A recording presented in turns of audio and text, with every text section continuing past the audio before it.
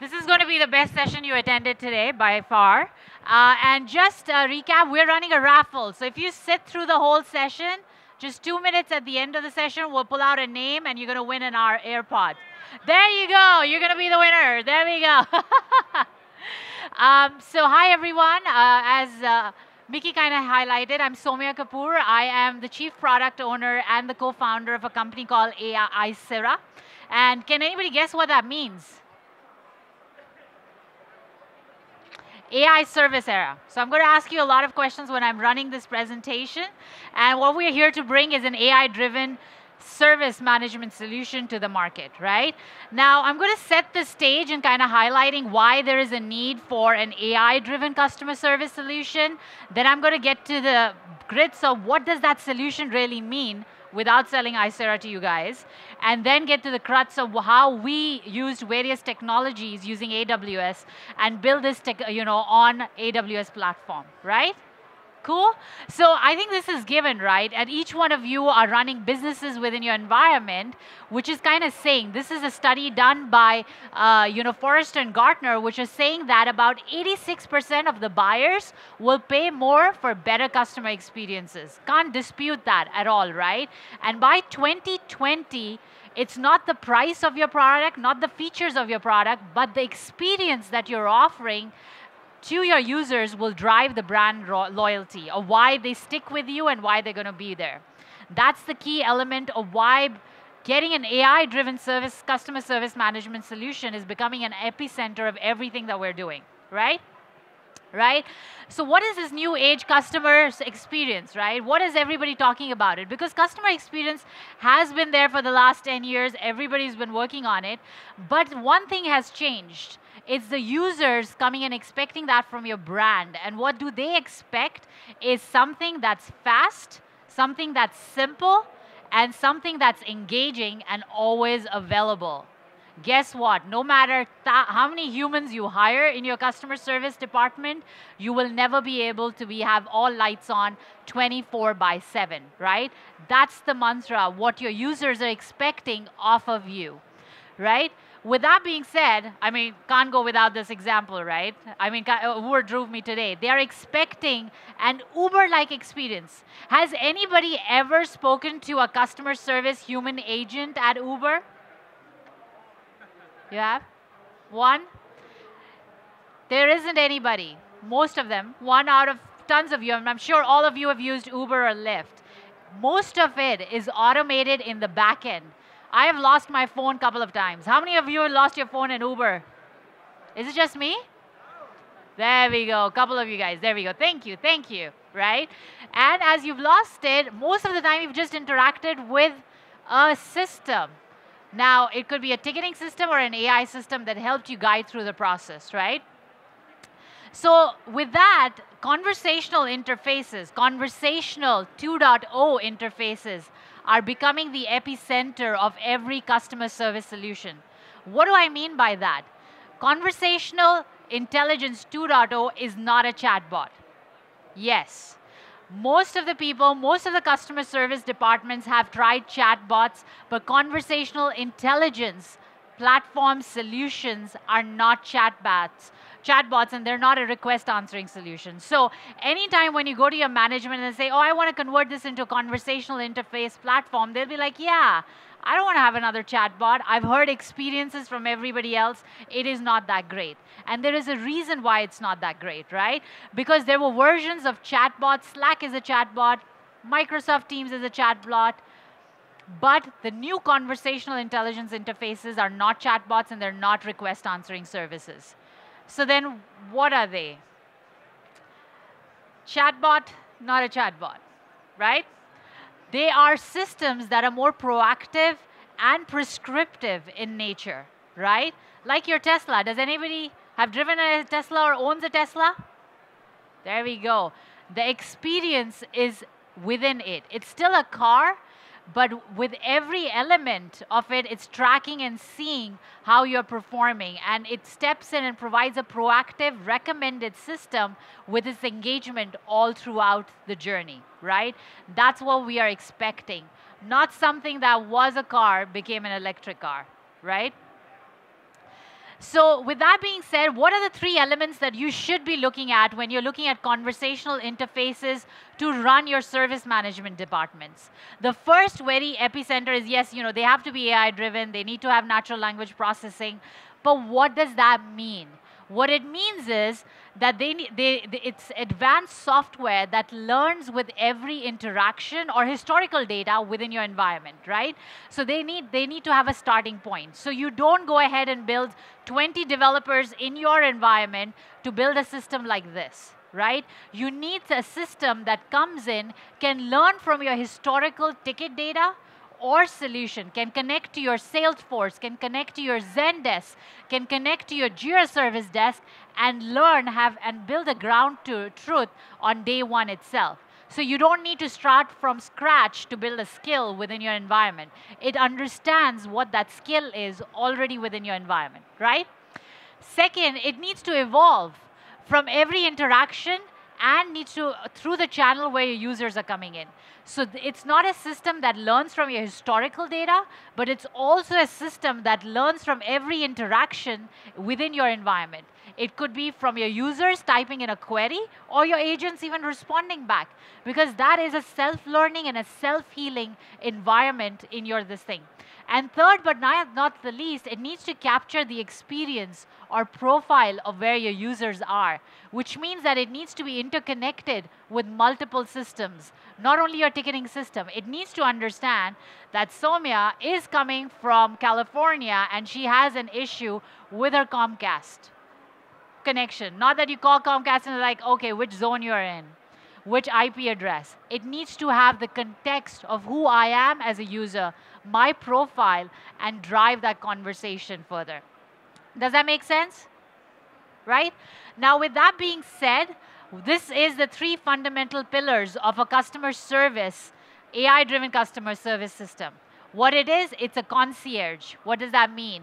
That it is built on ground one automatically. It doesn't take you six months to build this system, doesn't take you nine months. On day one, with your historical data, it can start building automated interactions. Plus, it comes with high-level workflows. It does understand when you're using the intent in the context of what is the status of my order? What is, you know, where do I uh, stay? Where am I as a user? What other historical tickets have I opened up? What do I need? It, is able to derive the intent from every interaction the user is having with the system. It needs to be a courier. There needs to be some skill-based learning in there it needs to be coming with a vertical or a horizontal knowledge. If it is in the customer service side of consumer products, it needs to understand the language and the data associated in that environment, right? And it needs to be able to manage well load, right? Because conversations, the moment you enable conversational interfaces, you're going to hit with massive load in terms of people asking questions. Even in the context of sometimes they'll ask you questions like, what is the weather today? Why, why should my bot answer a weather question because it's not related? It needs to understand if the intent and entity of that solution is within the phrase or not. And last but not the least, it needs to provide suggestions. So if it's not able to provide a response to a query that's coming in, it automatically needs to learn from a human agent doing the interaction. Because the next time another user comes and asks for the same query, it's going to be able to respond back. That's the self-learning, which will help it build utterances, right? That's the whole NLP process over there. So there are types of conversations. We kind of bucket them in various systems, right? What are the different types of conversations? typically your chatbots reside in the common Q&A answer, right? People are asking question answers. That's where your Zendesk bots reside. That's where your Slack bot kind of requires resides. You set up one or two actions and you kind of enable. Then there are more common workflows and repeatable tasks that you can move across systems. And then there are definitely rare question answers, which you don't have in the context of the data that you have. And last but not the least, the more complicated workflow scenarios in your CRM. So where do you think the bulk of the questions pretty much reside? Any takers? Sorry, which side? On the left side, common Q&A? Is that where everybody's going for? Yeah? Yeah? Actually not. They reside more on the task related. They're not more question and answers. Actually, today's research done with the system, when you're asking for your bank checking status, you want to conduct an action on it. I want to transfer my, I don't know, account money from account A to account B. Or can you help me by, with my credit card? I'm lost. So they're not Q&A related. They're actually multi-threaded dialogue conversations within your environment. And that's where bulk of your automation for an AI-driven customer service management solution can be brought in. So you can reduce or better serve your agents for more tasks. This is what Aisera can provide you in your environment. If you're using Aisera, we bring automation not only for your frequently asked questions, but also for your simple to mid-level workflow engines right off the back. It doesn't take you three to six months to implement it, but less than five to 10 uh, less than five to 10 hours to get Aisera up and running within your environment, right? So with that being, let's drill a little bit deeper, right? With these tasks. You call them tasks, you call them skills. For any conversational interface, needs to be split into these four to five buckets, right? They're more knowledge serving. So if I'm asking an intent, is it more in the context of am I asking you a knowledge response? Like, how can I go ahead and share my calendar? So that is more knowledge serving. Is it action oriented? I want to I want to add a plugin to my Outlook. Can you help me with that? That's more action oriented. Or is it more alert? Do you want to give me a notification? I put in a ticket. What's the status of my ticket? Where does it stand? Is it more alert or is it more dialogue driven? Oh, by the way, I want to, you know, I want the status of my tickets, but the ones that I opened in the last five days, and can you just show me all my tickets by all status rather than open, closed, or in progress, right?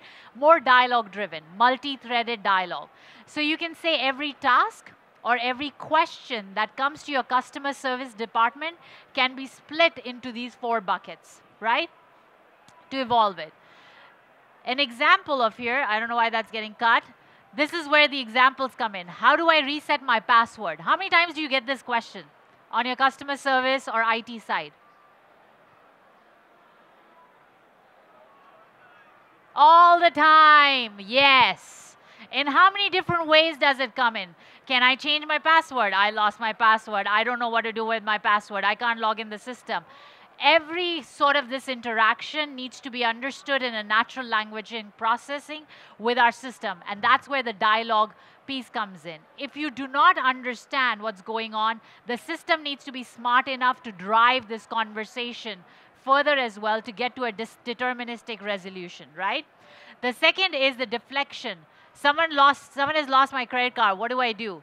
Hand off to the live agent. This is more sort of deflection kind of scenarios. So what I'm showing you, an action or a task in an environment is sort of like a skill that you build in an AI-driven solution that helps you kind of navigate through the processing and natural language. So whenever you're looking for an AI-driven customer service solution, these are the elements you should see if it's able to handle all these variables in order to make that happen. And if you go with Aisera, you'll definitely have all of them in your environment, right?